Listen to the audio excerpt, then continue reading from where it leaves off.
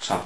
Ne aflăm acasă la Claudiu Rușco, care nu mai are nevoie de nicio prezentare pentru iubitorii de sport sigheteni, mai ales cei care îndrăgesc acest sport bărbătesc care este boxul.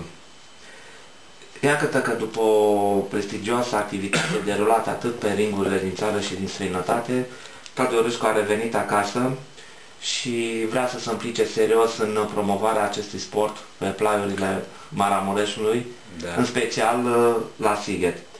Claudiu, cum ai ajuns tu să îndrăgești acest sport și să reușești să atingi chiar performanța? De ce boxul și nu alt sport? Da, a fost o conjunctură, pot zic, favorabilă în care m-am aflat în perioada respectivă, se întâmpla prin 92, 1992, fiind elev la școala numărul 3.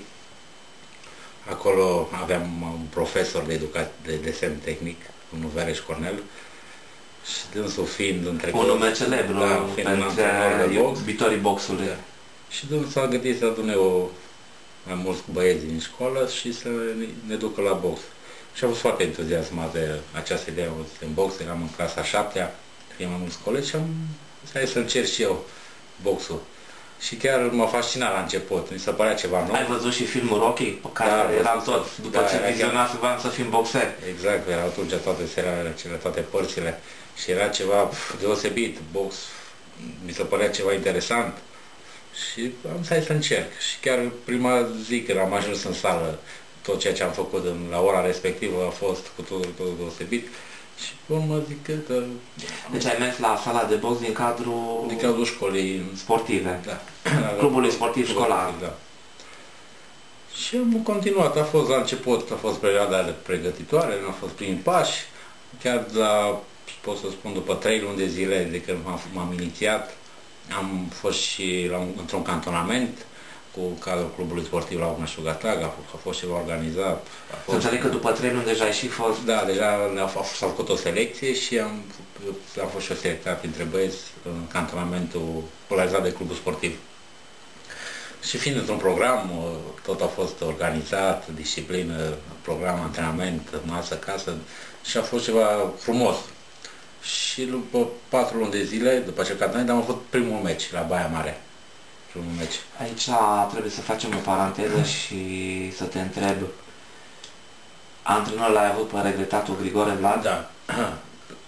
După acea inițiere cu domnul Vereș Cornel, uh, am uh, trecut în, pot să zic, în partea cealaltă la domnul Vlad Grigore.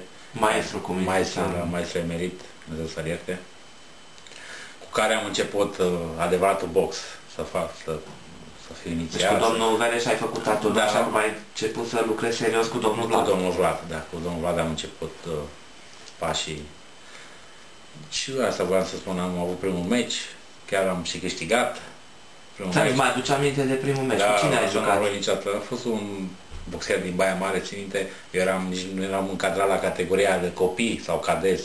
Copii Câți ani aveai atunci? Aveam 13 ani. 13 ani. 13 ani și băiat, adversarul meu era cu un an mai mare ca mine. Uh, și totul a fost niște emoții, dar a fost entuziasm mare. Eram la sala sporturilor din Baia Mare, acolo a fost etapa județeană. Lume multă, da, lume multă și bă, era ring, era ring. Reflectoare. Era, era și am câștigat meciul ăla, eram așa de entuziasmat de niciodată. Ai câștigat la puncte Da, la puncte, la puncte. Era boxanul atunci, știu, uh, două minute repriza, eram copil. Să boxa trei, trei minute în perioada așa. respectivă. Și am și, și diploma, am prima diploma aia care m-a, fascinat și acum când mă uit în 92, primul meci care l-am avut. Și pe urmă am început mai serios cu antrenamentele, am participat la, la zona care s-a 93, la etapa de zonă, am fost la campionat, am luat uh, zona, am participat la, la turneul final, am ieșit campion național, 94, eram la primul, al ultimul an de junior mici. Atunci am ieșit prima dată campion național. Și Asta a fost unul dintre cele da, primele mai... tale da, titluri. Titlul. A fost primul titlu de campion național. Cu cine ai jucat atunci și... Dacă eu am amintesc că am avut trei meciuri și toate le-am câștigat înainte de limită. Eram, dacă la Suprega eram mai micuț și mai mai de o fanera. Adică să înțeleg că ai făcut knockout pe adversar? Dificultatea adversarului, că na, fiind copii e mai greu de knockout, dar era o situație așa, când adversarul a pus în dificultate sau nimeni arbitrul a considera că nu mai poate să continue lupta.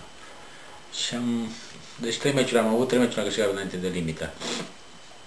Și deci am ieșit pe altă campion național, pe urmă am, după aceea, la acel campionat, a făcut o tabără la Centrul Olimpic la Reșița, toți campionii naționali. Ce scuze. și acolo am, după acea perioadă de pregătire. Care să le spunem iubitorilor sportului Sighet, care nu prea știu, Reșița a fost un incubator da. De acolo provine și cerebrul Francis Varsă, da, care da. a făcut istorie pentru boxul românesc. mare boxier român. Da. Așa. Și după Reșița? Și după Reșița, acolo am, m-am și transferat cu școala. La Reșița, acolo aveam programul, antrenament, uh, școală, masă, cazare, tot erau oferite de Centrul Olimpic Român. Erau două centre olimpice atunci, în perioada aia, la Reșița și la Galat. La Reșița, și acolo am pus să spun că am antrenat și liceu, la Reșița. De acolo am fost selectat și la Loto Național, după o perioadă de câteva luni de stat la centrul. Deci un pas important da. la, la reprezentat selectarea ta în lotul național. Lotul național de, al României de juniori. Junior. Da. Cu cine ai fost cu echipere acolo la lot? Pe lot, dacă în perioada respectivă, da, sunt și acum care sunt boxieri consacrați, pot să spun, a fost, care e diaconul, campion mondial la profesioniști, a fost, le-am fost de aceea, a fost colegi, a fost Bută Lucian, a venit după un an de zile, la lotul național. Tu ai fost înaintea lui Lucian Da, eu, eu au fost, uh, Bută a fost Lucian cu 2 ani mai mic ca mine, dar a venit din urmă, a fost Ion Inu Jojodan, la CESPA a venit și el. Așa. Boxeri care sunt campioni mondial, boxeri la profesioniști. Pe urmă, după ce am terminat, a fost, mi-a fost coleg și Leonardo Roftei, care a fost campion mondial.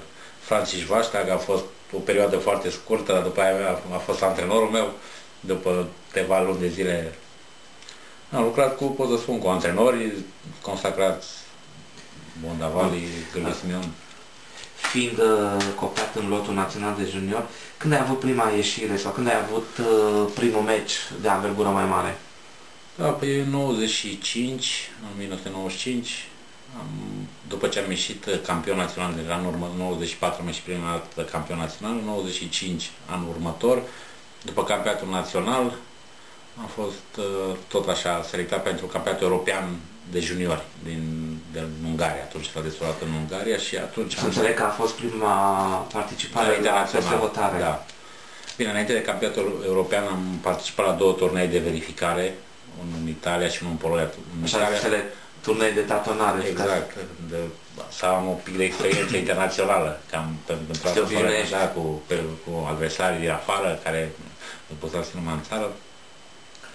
Și prima ieșire a fost în Italia, în, în afara un turneu Alghero, mi amintesc, am câștigat turneu atunci, pe urmă am fost în Polonia la un turneu și pe urmă am fost campionat european, unde pot spun că am reușit să iau o medalie frumoasă, un de bronz la campionatul european de juniori a fost prima medalie internațională deosebită cu care m-a consacrat pe plan internațional.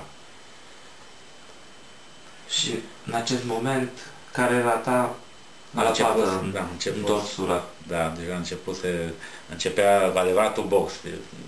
Eram la junior mici, pe urmă urmau junior mari tinere. Deci a trecut la treburi serioase, da, deja, deja, și fost da, da, deja cu cât trecea, deja cu trecerea timpul începeau să să ne maturizăm, să mă maturizez și eu și să, să crească și valoarea competițiilor. Adică și la limita de vârstă, a care l-am inclus în perioada aia,